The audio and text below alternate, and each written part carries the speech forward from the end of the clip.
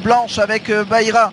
Buissonnet qui a désormais du mal avec également Badianara qui va tenter de venir sprinter avec également Brune Desforges hein, qui a fait pas mal d'efforts. L'entrée de la ligne droite Bayonne Magique qui a toujours l'avantage en deuxième position à la corde. C'est le numéro 7 Badianara à l'extérieur. Brune Desforges qui va tenter de venir sauver les parieurs. Bulle Blanche est en quatrième position. Bayonne Magique qui a toujours l'avantage. Badianara qui est deuxième. À l'extérieur, Brune Desforges, numéro 4, Bayonne Magique qui va tenter de repartir. C'est ce qu'elle va faire relativement aisément et plus facilement qu'il n'y paraît. Badianara est deuxième. Troisième place à 10.